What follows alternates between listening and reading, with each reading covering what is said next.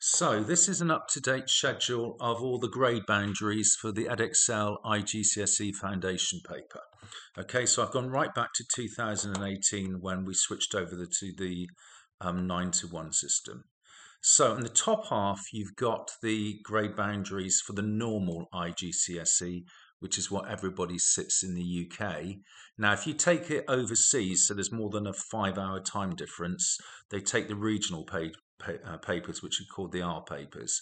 Now, this is quite good because it gives us another whole set of papers we can use to practice with, okay, or the R papers.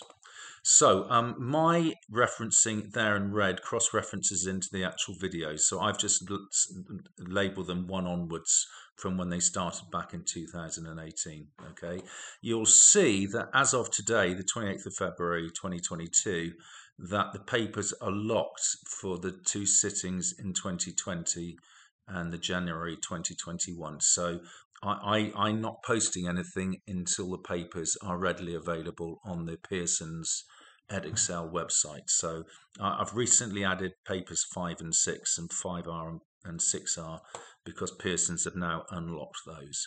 So I think it's pretty self-explanatory. Obviously, this is the percentage you needed to get a 5 uh, and obviously a five and a four are passes.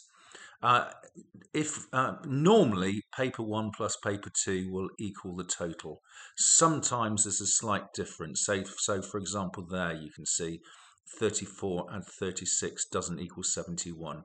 You do need to get 71 overall to pass if you take the two papers. It's just a, an anomaly with the system.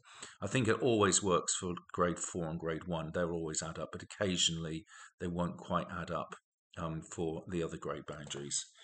So I think that was all the points I really wanted to make. Um, you know, I hope you find this useful.